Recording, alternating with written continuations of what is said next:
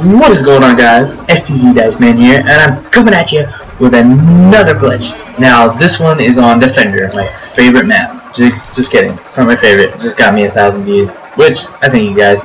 But, um, so you're going to place your riot shield right here. You're going to need a riot shield and hover. Okay, I'm to place your riot shield, maybe a little closer, I'm not sure how far.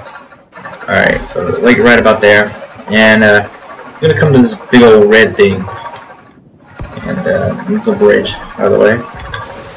Um, but you want to come over here and double jump and then hover, and uh, you should be make it. You should make it over here.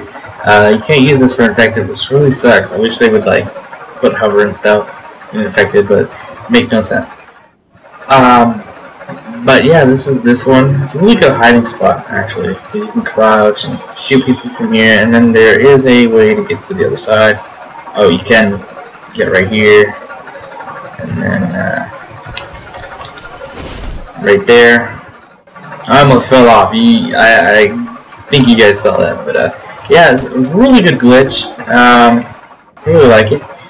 And you can come over here and uh, you can't come over there because it'll slide off. But uh, yeah, you can go this far.